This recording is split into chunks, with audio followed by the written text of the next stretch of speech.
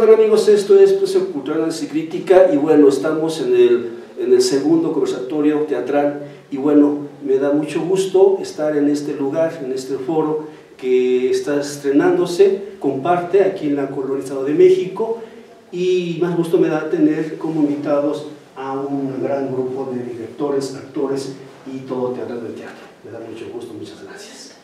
Muchas gracias. Tardes. Me da, me da el soponcio. Y bueno, esta ocasión contamos con eh, el maestro José Víctor de Córdoba. Buenas tardes.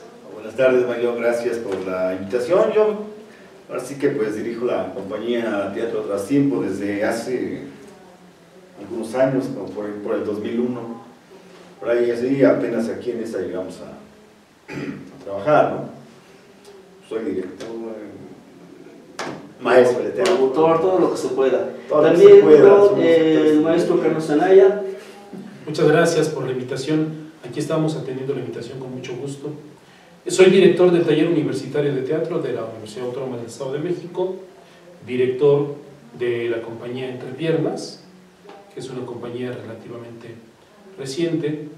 He sido profesor de teatro por treinta y tantos años, no sé cuántos, eh, y pues dirijo, actúo, cada vez actúo menos, pero no porque mi capacidad actoral vaya disminuyendo, sino porque la demanda de trabajo de dirección pues va incrementando y por supuesto la necesidad de escribir, escribo teatro también. Perfecto. Maestro Arturo Dávila. ¿Qué tal? Ah, yo soy Arturo Dávila, este, soy el director de la comunidad independiente de teatro, ya va para 20 años que estamos con este proyecto de la comunidad, este, pero bueno, mi experiencia en teatro viene desde la, desde la prepa, ya hace, ya tiene sus 35 años de, de, andar en esos menesteres teatrales. También tenemos a Michael Pérez. Hola, hola, ¿qué tal? Gracias por la invitación. Este, yo soy Michael Pérez, director de la agrupación teatral Ángeles Extremos, desde, vamos a cumplir 17 años. Dentro de 8 días cumplo 25 años en esto de andar en el teatro. Este momento me estoy haciendo cargo de un proyecto llamado El Barrio de las Tablas, que es fondeado por el PECDA y ha generado ya 10 grupos de teatro nuevos. Eso me parece estupendo. Y también tenemos a Luis Huerta, que eh, es, este, digamos, de una forma elegante el- la sede, porque por medio de ellos, por medio de Gustavo también, eh, tuvimos esta sede. Luis, Eh, Luis Huerta de la Travesía Teatro, 13 años en las tablas y bueno, estrenando ahora un espacio alternativo, un espacio donde se puede, bueno, empezó como un, un lugar para poder ensayar, después se habilitó para poder eh, dar presentaciones. ¿no? Y pues bienvenidos a este nuevo foro que, que se inauguró en la primera semana de agosto. así es, y que próximamente vamos a tener una obra de ellos que este, vamos a estar anunciando. Así que amigos, vamos a empezar, vámonos a un corte y continuamos en este conversatorio que ustedes saben, nunca sabemos en qué va a acabar y cómo va a ir, todo depende de los ánimos y de los gustos que aquí los invitados vayan exponiendo. Regresamos, ¿les parece? Regresamos.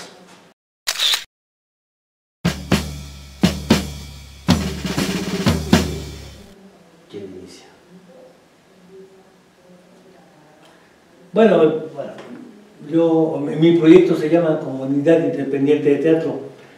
Y, y basamos el término independiente justamente en el hecho de, de ser auto- autogestivos, autogestores, este, pues no, no, no depender de programas, de algún programa gubernamental, de alguna beca.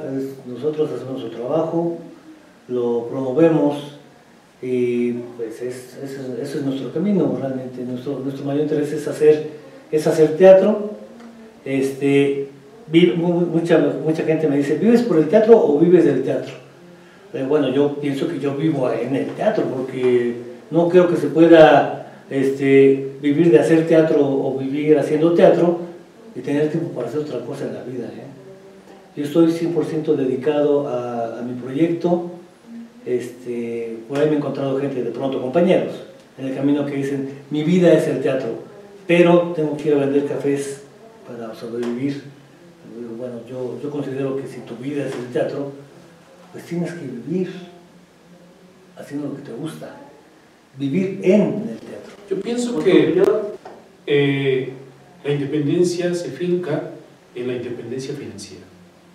Y el teatro independiente, necesariamente para ser independiente, tiene la obligación de no depender de presupuesto ni público ni privado.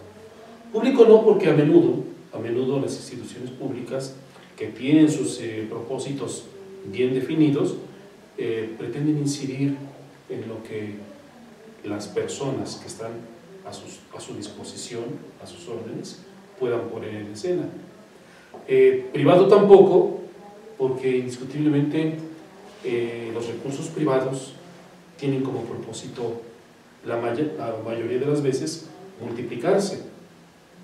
Pero el teatro independiente tiene otros propósitos distintos al teatro oficial o al teatro eh, que se realiza con fondos públicos y tiene otros propósitos el teatro que se realiza para producir más riqueza. El teatro independiente nace como una necesidad precisamente de generar otro discurso utilizando el lenguaje teatral y por supuesto atender a otra población que ni el teatro oficial ni el teatro comercial atienden en su... Le digo a un compañero mío, él es del, de la Compañía Nacional de Teatro, entonces se suma, se arriesga a montar una obra de fuera de ese contexto. Pues como sabemos el teatro independiente no siempre es bien agraciado con los de público. Bienvenido al teatro independiente, por esa misma razón, ¿no? porque no somos auspiciados por ninguna este, institución gubernamental y nada, sino es con nuestros propios medios. Y ponemos lo que, lo que queremos también poner, las necesidades que hay dentro de nuestra sociedad, que es la que nos van este, marcando el camino decidimos ser independientes porque no queremos injerencia de nadie. ¿no? Pues, fíjate que yo marco la independencia en la situación donde yo monto lo que quiero. ¿no? O sea, realmente, realmente a mí me ha tocado que nos contratan para teatros enormes y también en la banqueta. ¿no? O sea, eh, más bien la independencia nosotros la marcamos, por lo menos del, lado del proyecto, es yo voy a donde tú me invites, seas de la playera que tú seas, siempre y cuando, pues, eh, yo le digo a mis muchachos, bueno, pues, hay que llevar el teatro donde se pueda y como se pueda, me explico. Entonces, eh, yo mientras, mientras no existe una censura, yo estoy ahí. Pero que alguien me diga a mí, eh, cámbiale esto tu texto, o no digas esto, o cállate con esto, no. O sea, eh, porque ha llegado a pasar, y es donde yo digo, bueno, pues entonces no podemos contar con el trabajo. Entonces más bien yo voy por ese lado. Eh, en lo financiero, bueno, pues a veces hay, a veces no, a veces... Pero yo creo que la función tiene que continuar en, ese sentido. Entonces, eh, más bien lo marcamos desde un punto de vista un poquito más ideológico, donde decimos, mientras no haya censura, ahí está la... lado con lo que comenta Michael, de poder eh, ser independiente de, las ideas, también está la cuestión de la formación. Una de las cuestiones es, eh, en, la travesía teatro hay diferentes eh, rubros, o diferentes compañeros que tienen diferentes caracteres. un compañero clown, un pedagogo, un sociólogo, yo que hago pininos de dramaturgia, eh, en diferentes eh, ramas, ¿no? psicología también, incluso dirección, una, compañía que estudia dirección, y teniendo esas bases podemos formar algo. ¿no? Apenas hace poco eh, se acaba de montar Animalario, ¿no? aunque no estuvimos tan, tan de lleno todos los compañeros, uno de ellos, no, no es, no es necesario a veces también que estén todos, ¿no? es como la parte también de que podemos decir este teatro lo hacemos nosotros, lo hacemos los que podemos. Y obviamente también está la cuestión financiera que a veces no siempre nos detiene porque todos los compañeros tenemos sus actividades, ¿no? Y, cuando es eso, pues todos ponemos para que esto, este proyecto avance. de que tenemos que estar al 100% en la vida teatral como tal porque si es cierto, yo a todos los conozco y de una forma siempre me han comentado que la vida es el teatro. Pero entonces, este, ¿vivimos del teatro o vivimos para el teatro? En esta, esta independencia que estamos hablando. Este, bueno, no, no, no, no quisiera ponerlo como, es que se tiene que hacer de esta manera. Sí. Pero bueno, eh, eh, en, mi, en mi persona, para mí, lo, lo ideal, yo estoy 100% dedicado a. Mi, mi, mi, mi, vida comienza pensando en cómo le voy a hacer para hacer teatro y termina en, pues tuve que hacer eso para hacer teatro. Este, por ejemplo, ahorita el compañero Luis, Luis, ¿verdad? Gracias. Perdón, Luis, comentó algo bien importante. Este, la conformación de, de, del equipo de, de Travesía Teatro, de teatro este, que es, es este, ¿cómo se llama? Multi, multifacético, eh, pedagogos, eh, Sociólogos, sociólogos.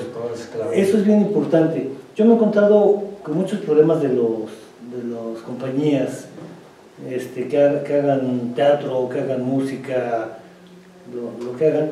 El problema es que todos son artistas, todos son creadores y de pronto tienen un gran, un gran este, resultado en sus trabajos, pero no saben qué hacer con, con un caballo tan grande.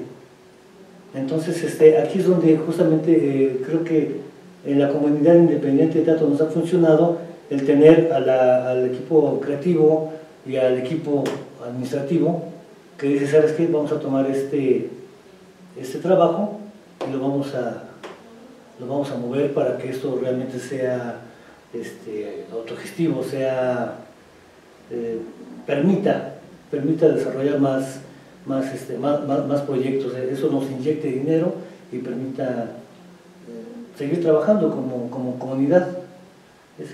Creo que eso es una de las ventajas de, de, de, esa- de esos equipos conformados este, por, por- por personas de diferentes eh, este, Formación. formación de, Y experiencias, ¿no? Exactamente. Ese- fíjate eso es algo bien interesante, porque en el teatro independiente eh, se da muy comúnmente que todos venimos de experiencias académicas diversas, de formaciones diversas. Eh, y eso comúnmente no ocurre en otros sectores, o en el teatro comercial, o en el teatro oficial. Eh, si se trata de teatro oficial, a menudo básicamente hay dos vertientes, ¿no? Y esas dos, dos vertientes son la Escuela Nacional de, de Escuela de Arte Teatral, o ya sea este, la, la UNAM. Pero en el teatro independiente provenimos de experiencias y formaciones muy diversas. Y me parece que eso le da una riqueza muy Claro. interesante al trabajo que se hace acá de este lado. Y precisamente eso liga la, la respuesta para tu otra pregunta. Pues somos animales que vivimos para el teatro, vivimos para hacer teatro porque es lo que más nos entusiasma, es lo que más nos satisface, es lo que llena nuestra existencia. Y con eso pues, nosotros llenamos la existencia por unos minutos de las personas que nos hacen el favor de ir a vernos. Yo creo fielmente, perdón, eh, en esta situación, ¿no? Donde nosotros como personas, yo estoy totalmente de acuerdo con el maestro, o sea, si te estás dedicando a esto, es un trabajo de tiempo completo, celoso, mamón, ¿no? Y te absorbe, te absorbe. Al final del día, para ir dando como resultados, porque el teatro también te olvida. Y Sí. te va olvidando, y te va olvidando, y te va olvidando.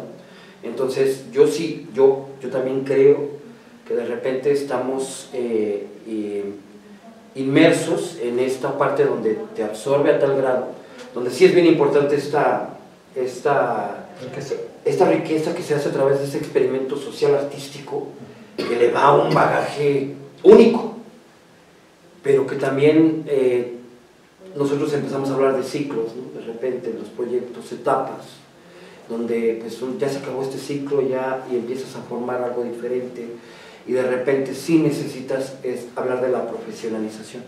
Una experiencia rápida con esta situación donde hablábamos de la economía, del bagaje.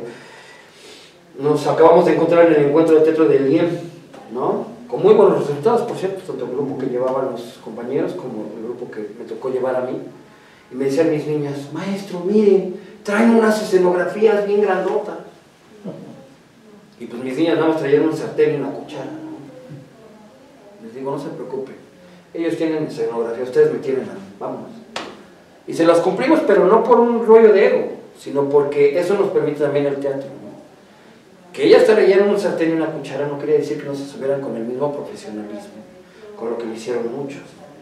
E- Es parte de ese juego que nos permite el teatro independiente, donde yo lo veo así, a mí me retribuye, me dice el teatro, órale, te estás enfocando al 100, aquí está, aquí está la otra parte. Pero sí, repito, es un trabajo celoso, es un trabajo, pues, valga la redundancia y la palabra mamón, Ujú. que, que te agarre lo que suelta de repente. Maestro, ¿te comentar? Sí, es que aquí hay varias cosas, ¿no? El- el- es la cuestión del teatro independiente, la parte económica también, dicen ahorita, bueno, vives del teatro, vives en el teatro, pues sigues tiempo completo, cuando termina una función me dicen, ¿cómo te fue? ¿En qué parte? Que la parte económica de público, pues como que no hubo mucho, ¿no? Pero en la parte de trabajo, pues el público, poquito que estuvo, muy contento, muy a gusto, se terminó muy bien. Entonces, por otro lado, dices, bueno, ¿cómo vivo de eso? ¿Cómo vivo del teatro? Sí, es cierto, tenemos que dedicarnos de tiempo completo, porque aquí en México, desgraciadamente, no puedes vivir del teatro nada más los fines de semana, sino que tienes que estar buscando aquí, buscando allá, buscando en todas partes.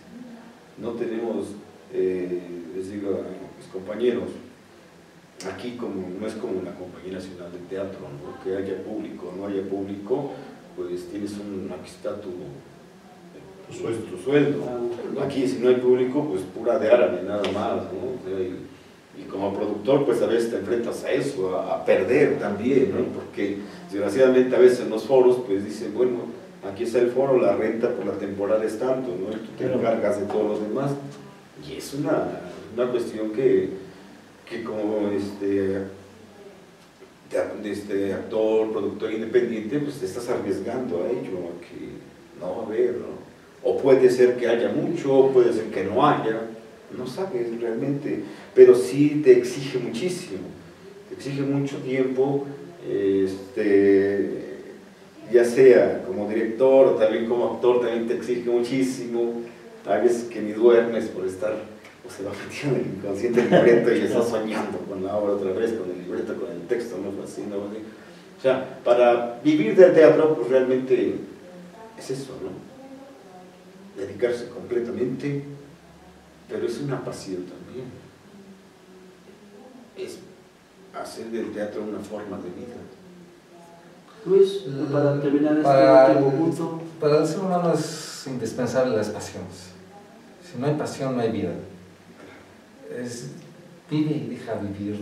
Es como a veces es lo que les decía, hoy que está iniciando un ciclo eh, nuevo en la, en la Universidad del Estado de México, donde colaboro con Carlos Anaya, es lo que digo a los chicos, ¿no? Eh, disfrútalo, gózalo, vive lo tuyo, ¿no? Incluso a- a- en ocasiones a los compañeros digo, pues disfrútalo, no pasa nada, si no, no, te trabes, ¿no? Entonces eh, me inclino más hacia esa parte, ¿no? Hacia la voluntad, hacia lo que uno, lo, lo que te gusta. Tenía una profesora que me, decía, no trabajes, haz lo que te guste ya, el dinero va a llegar. Si, si haces una función, pues la vas a vender. Si, y si te gusta eso, hazlo tú. Y poco a poco llegará eh, lo económico, ¿no? Y afortunadamente no he tenido que trabajar en otras cosas. No he tenido que vender cafés o no tengo eh, que, arreglar algunas cosas, afortunadamente, porque sé que en algún momento eh, tendré que hacer, que hacer, hacer de otra actividad, ¿no? Oye, ayer en la tarde el, el mecánico de motocicletas me decía, tengo un chamaquito que, me, que viene a las 12 y le digo, y lo regaño, ¿por qué vienes a las 12? Digo, es que en, la tarde, en las mañanas tengo que vender tamales. Bueno, está bien, mañana- me traes mi tamal, ¿no? Entonces, eh, a veces como los movimientos económicos o las, o las finanzas no resultan, ¿no? y es donde tenemos que atorar en otras cuestiones, ¿no? Y en la travesía nos ha pasado que hemos tenido que, hacer otras cosas para poder lograr un proyecto. Pero el ser independientes es una declaración de principios. Claro. Es una declaración de nuestra naturaleza. Tal vez pudimos haber eh, nosotros en los diversos proyectos que, eh, en los que estamos trabajando, pudimos haber nosotros eh, pensado en ser parte del teatro comercial, en ser parte del teatro oficial, pero no, nosotros decidimos ser independientes y es allí la parte quizá esencial. Decidimos ser autogestivos con todo lo que eso implica. Con, todo, con todos los rasgos. O sea, podemos incluir en este, en este punto de que el teatro independiente o todo aquello que se llama independiente no lo es tanto, sino que depende de muchas cosas más que van saliendo al camino. Pero ahora hablemos de esa utopía. ¿Cuál sería, cuál tendría que ser el mejor escenario para presentar teatro? O sea, hablando como si fuera esto una carta a los reyes. Volvemos al ejemplo que te decía un rato, depende de cómo hayas montado tu obra, qué tipo de obra montaste, para qué la diseñaste, para qué, o sea, aquí en la Independencia podemos jugar con tantas cosas. A mí, ¿cuál es el escenario? Pues yo te puedo hablar de momentos donde he estado en la calle, que son las escalinatas de la de Guanajuato, y de repente ves estas mil personas sentadas. Pues yo nunca, ni siquiera por aquí me pasó soñar con un escenario así. Y sin en cambio, la calle se vuelve el escenario perfecto, ¿no? Entonces esa es la ventaja. Realmente, por, por fortuna nos ha tocado pisar teatros pues, increíbles, ¿no? Y nos ha tocado también eh, en foritos independientes, en, y ninguno demerita al otro, realmente todos tienen como, como esa magia, esa pasión, entonces depende cómo hayas montado tu obra, a lo mejor la montaste para teatro de calle y te ofrecen el Morelos, pues como pues a lo mejor le atoras, pero no va a ser lo mismo, ¿no? Tienes que rediseñar lo que estás haciendo. Yo siempre he sostenido que todo espacio vital es un espacio teatral, siempre y cuando, siempre y cuando el director y la compañía sepan utilizar ese espacio vital. Eso quiere decir, donde sucede la vida, puede suceder el teatro exitosamente. Eh, lo que plantea Michael es bien interesante. Eh, hace un año aproximadamente, menos de un año, vamos a Chiapas y los que nos invitaron al, festival tenían programadas dos de nuestras obras y cuando yo veo los espacios en donde se iban a realizar las obras, digo, no, mejor se les invierto. Entonces llevábamos Los perros de Elena Garro, que es una obra que sucedía en una choza, para decir una choza, y encontramos en ese museo que había una choza. Era el espacio natural para mi espectáculo.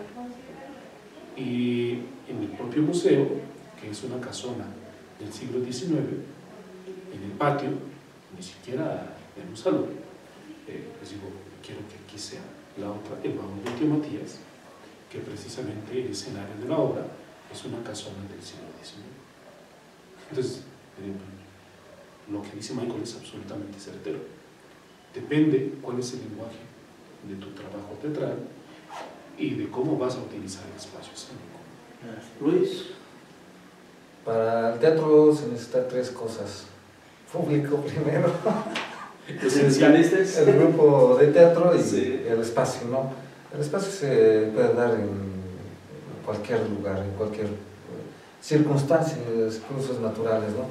Eh, durante mucho tiempo en Utopía Urbana decíamos, es que nuestra peor temporada es la época de lluvias. Pues ¿por qué no podemos salir, salir a, las calles? ¿no? Ahí en el foro Tomás Espinosa eh, tenemos, este, sacamos las butacas y la gente se acomodaba, dábamos una función cada 15 días, algo así. Pero no era de lluvia, sino un día estaba el sol, vamos a dar la obra, con las bocinas, etc. Y a mí de función se nubla, empieza a llover. Y yo volteo a ver, ya lo vas a cortar, güey. y, pues diciendo los, textos, y la gente se había resguardado en una en una cornisa, estaba paraditos viendo la obra, ¿no? Se mantuvo el público. Sí, ah, dije, vamos a cortar la obra, papá. y, pues no, no, así terminamos la, la, función, ¿no? Pero este, ya después entendí, dije, no, si hubiéramos cortado la obra, estamos trabajando para el público, ¿no? Exactamente. El espacio también nos, nos- nos- ahí está, ¿no? Pero a pesar de, de- de las circunstancias, hay que terminar la, la obra, ¿no? Porque no puedes dejar a- Sí, no, estoy de acuerdo con los compañeros, me, me gusta mucho la anécdota de- del compa- del maestro, es genial. Tengo una parecida también, una vez este, con un, un amigo Luis Beltrán, mi, mi sensei, él presentaba el monólogo de Memorias de un Loco. Estaba, estaba en, en, este, en dos partes, eh, presentaba el monólogo. Entonces en el intermedio, bueno, esto, esto lo hacemos en, un, en folleto pequeño, en la librería Luis Buñuel vimos que había un, solo asistente.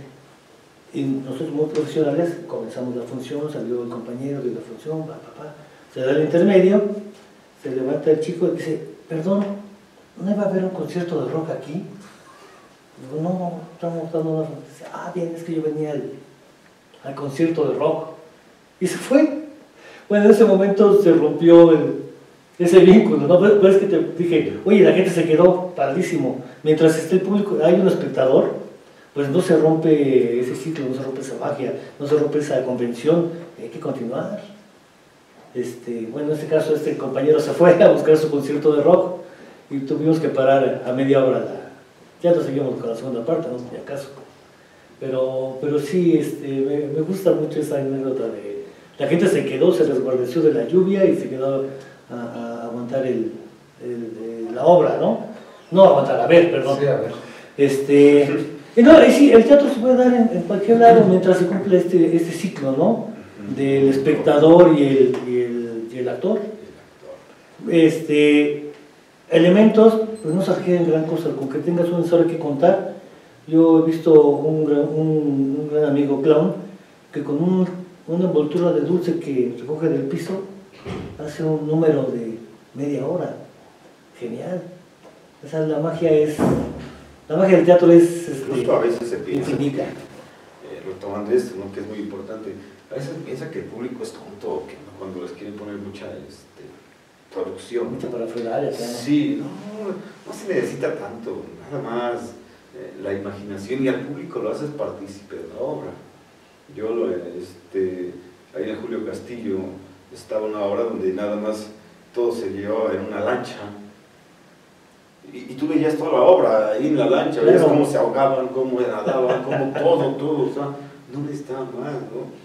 Tú ves en el diario de un loco nada más una mesa y dos sillas, y, y yo les pregunto luego a la gente, ¿qué vieron aquí? ¿No? Dicen, vimos una, un avión, vimos una casa, vimos un hospital psiquiátrico, vimos todo, todo, ¿no? Porque el público es, es grandioso cuando se empieza a imaginar, cuando tú como actor empiezas a crear la atmósfera. Sí. A mí me ha gustado, hemos ido a trabajar cuando fue, no sé si allí estuviste tú, Travesía Teatro, es. A mí me encantó mucho esa obra que vimos allá, que fuimos a la inauguración de la Casa Maja, del foro Roberto Vázquez, inauguró. Fuimos allá y vimos una obra con, con ellos, llama Ciclos. Y me encantó esa obra, ¿no? Luego, la verdad, fue de las veces que, que me he divertido muchísimo. Estábamos cenando y era un espacio pequeñito, Eh, sigue siendo un espacio pequeñito. sí, donde casi salías a, a, este, a trabajar con el público allí, ¿no? O sea, entonces no importa, realmente eh, aquí se juntan varias cosas, la pasión, el público, la entrega que tienes tú en tu trabajo, no importa. Y bueno, en esta ocasión eh, yo pensaba que el mejor escenario es aquel que está lleno de público o la sala que está a la mitad o, o las razones que hace que el público disfrute la producción de los eh, del teatro. En fin, cada quien tiene su propia opinión.